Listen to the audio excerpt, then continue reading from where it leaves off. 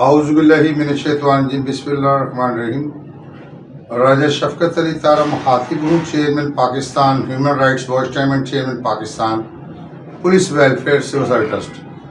पहले तो मैं गवर्नमेंट ऑफ़ पाकिस्तान को मुबारकबाद देता हूँ, सदर पाकिस्तान, आसिफ अली जदारी साहब को वज़ी अजम शबाज शरीफ और उनकी तमाम टीम को, जिन्होंने ये खलाई सफ़र का आगाज़ किया, पाकिस्तान का नाम पूरी दुनिया में रोशन किया। और अल्लाह पाक उनको हमेशा ऐसे काम करने की तोफ़ीकता फरमाए इसके साथ साथ पाकिस्तान में महँगाई, बेरोज़गारी, जिसकी वजह से आवाम बहुत मुश्किल का शिकार है, बिजली, गैस, खाने पीने की अशिया महँगी हैं, इन्हें सस्ता किया जाए, रोज़गार नहीं है, लोगों को रोज़गार दिया जाए। और जैसे उन्होंने मुझसे वादा किया था कि हम जैसे ही हुकूमत में आएँगे तो इसम्बलियों से पुलिस के हकूक़ के बिल पास करें, जिसमें पुलिस की अपनी रिहायशी सोसाइटियाँ नहीं हैं, शहीदों कब्रस्तान तक नहीं है। पुलिस के बच्चों को बगैर सिफारिश के भर्ती किया जाए, उनको प्राइवेट स्कूल जितने भी हैं उन्हें प्राइवेट पैनल पे किया जाए ताकि हर स्कूल में प्राइवेट स्कूल में अपने बच्चों को पुलिस वाले पढ़ा सकें, उसका दस परसेंट दिया जाए। क्योंकि हर इलाके में इतने बच्चे नहीं होते और प्राइवेट स्कूल का लेवल एक जैसा किया जाए जैसे अमेरिका के अंदर कोई बेरोज़गार होता है तो उसको बेरोज़गार अलाउंस मिलता है, घर का किराया मिलता है, उसके बच्चों को फ्री तालीम है। हज़रत उमर फारूक रज़ी अल्लाह ताला के मिशन को जो हज़रत कनाडा में चल रहा है, पूरी दुनिया में चल रहा है, उस ला को यहाँ लाया जाए।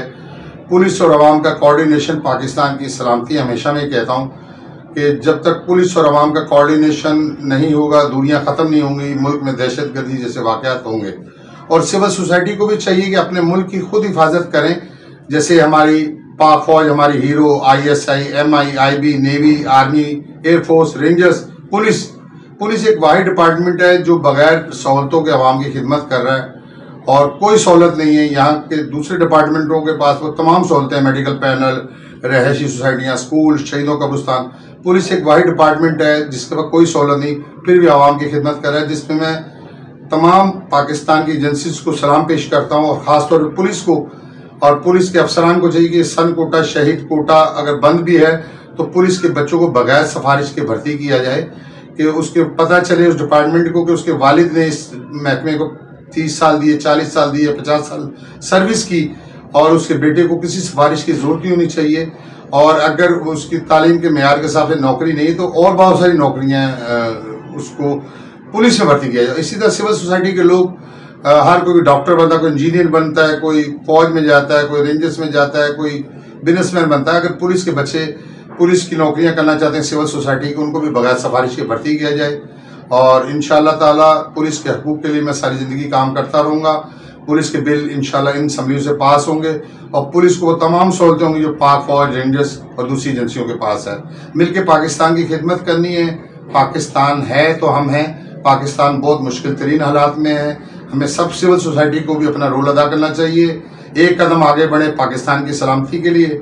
और दूसरी बात ये कि हम अमेरिका से कंटिन्यू कर्जे ले रहे हैं और वो कर्जों का बोझ आवाम पर डाल रहे हैं। तो मैं गवर्नमेंट ऑफ़ पाकिस्तान से गुजारिश करूँगा कि जो लोग बाहर से गाड़ियाँ इंपोर्ट कर रहे हैं या जो कोयटा से माल ला रहे हैं, उनको लीगल किया जाए, वो टैक्स 50 परसेंट अमेरिका का कर्जा अगर उस डिपार्टमेंट का मुझे चेयरमैन बनाते हैं तो मैं आपसे वादा करता हूँ कि अमेरिका का कर्जा इनशाला ये पाकिस्तानी जो हम उनको स्मगलर कहते हैं स्मगलर नहीं बिजनेसमैन है सिर्फ़, फ़र्क सिर्फ़ इतना कि अगर कोयटा से कोई चॉकलेट या सिगरेट आता है, वो चॉकलेट यहाँ पाँच सौ रुपए की है तो जब यहाँ पाकिस्तान में आके वो साठ रुपए की मिलती है। तो एक बच्चा साठ रुपए की चॉकलेट तो खा सकता है, पाँच सौ रुपए की नहीं खा सकता जो मुल्क कहलाते हैं। इसी तरह सिगरेट सस्ते हो जाते हैं, गाड़ियाँ सस्ती हो जाती हैं। तो इन चीज़ों को लीगल किया जाए और जो कस्टम पकड़ता है उसको उसी वक्त हाथों चलान भरें। और उसके डिपार्टमेंट का अगर मुझे इंचार्ज बनाते हैं तो मैं आपसे वादा करता हूँ कि अमेरिका के कर्जे और पाकिस्तान के कर्जे में ये जो इंपोर्ट बंद हुई हुई है, इससे बहुत फ़र्क पड़ेगा। गाड़ियों के टैक्सेस कम होंगे, गाड़ियाँ यहाँ आएँगी। हमारे मुल्क में बिज़नेस आएगा, लोग बिज़नेस करेंगे। उन्हें पता है कि हम कोई चीज़ लेके जाते हैं तो उसका लीगल टैक्स भर के हम उसे लीगल कर लेते हैं। और उसे आसान किया जाए। उसे प्रोसीजर में नहीं डाला जाए, अगर कोई कस्टम का जो सामान है, अगर वो क्लियर करना चाहता है, फौरी पेमेंट दे अपनी रसीद क्लियर करे स्टैंप लगा के उसके बाद जो उसका कंटिन्यू प्रोसीजर है, वो करते रहें। लेकिन उनको इतना रिलीफ दें ताकि मुल्क में सरमाकारी आए, हमारा पाकिस्तान दुनिया का तरक्की याफ्ता मुल्क बने, लोगों को रोज़गार मिले। पाकिस्तान है तो हमें हमें इस वक्त सियासत से ज़्यादा रियासत की ज़रूरत है, क्योंकि रियासत होगी तो सियासत होगी। और हम हमेशा अमेरिका की पॉलिसियों की बात करते हैं तो अमेरिका में बेरोजगार लोगों को बे आपको पता है कि वहाँ तालीम फरी है। प्राइवेट स्कूल एक लेवल के हैं। यहाँ बच्चे एहसास कंपनी में कि हम गवर्नमेंट स्कूल नहीं जाएँगे, प्राइवेट स्कूल जाएँगे, लेकिन लोगों के पास इतनी सहूलतें ही नहीं है कि वो कहाँ से जाएँगे? उनके पास अगर वो अपने घर का बिजली का बिल नहीं दे सकते, अपने बच्चों की स्कूल की फ़ीस नहीं दे सकते, अपने मकानों का किराया नहीं दे सकते, और किराएदारों के ऊपर टैक्स खत्म किया जाए। किराएदारों पर टैक्स नहीं होता किसी भी चीज़ का। वो टैक्स दे रहे हैं, खाने पीने की एशिया में दे रहे हैं, पेट्रोल में दे रहे हैं, मेडिसिन में दे रहे हैं, बिजली के बिलों में दे रहे हैं, गैस के बिलों में दे रहे हैं, इसमें आसानी करें। अल्लाह ताला हमारे मुल्क को सलामत रखे और मैं फिर आखिर पे आसिफ अली जदारी साहब को और वज़ीर अजम पाकिस्तान को मुबारक देता हूँ कि वो पाकिस्तान के हीरो हैं जिन्होंने पाकिस्तान की तारीख में ये नया आगाज़ किया है फ्लाई सफ़र का। और अल्लाह ताला उनके मिशन को कामयाब करे। हम उनके साथ हैं, पूरा पाकिस्तान उनके साथ है।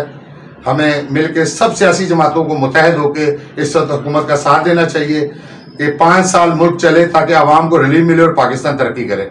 सबसे पहले पाकिस्तान पाकिस्तान जिंदाबाद। अल्लाह हाफिज़।